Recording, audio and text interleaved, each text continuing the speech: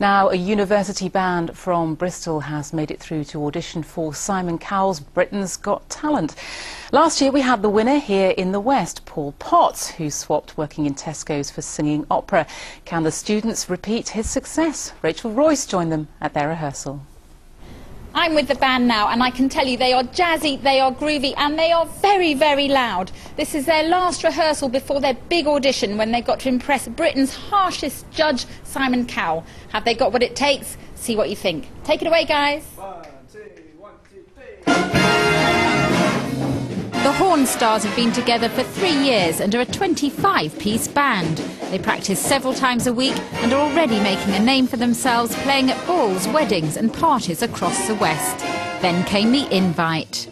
Well, um, they actually approached us. They emailed our uh, society president, Josh, and said, you know, they'd sort of heard about us doing gigs around Bristol and did we fancy auditioning? Last year, Paul Potts, who used to work in a supermarket in Eastville, was the very popular winner of the show.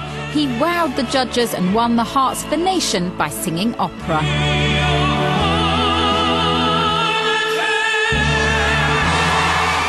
But how do the Hornstars feel about facing the panel of judges Amanda Holden, Piers Morgan, and Simon Cowell? Well, I am a little bit nervous. Obviously, Simon Cowell is a very harsh judge, but I've no doubt that we'll impress him, really. I think he's very mean, but um, I think if we can show him that we're good, I'm hoping he'll have some nice things to say about us. The trumpet player has the scary job of playing a solo for the judges.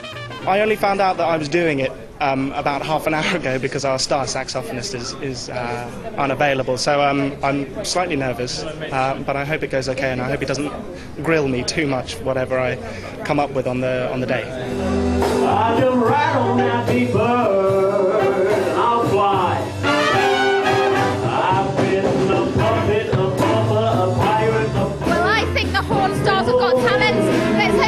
So too. This is Rachel Royce in Bristol for the West Tonight.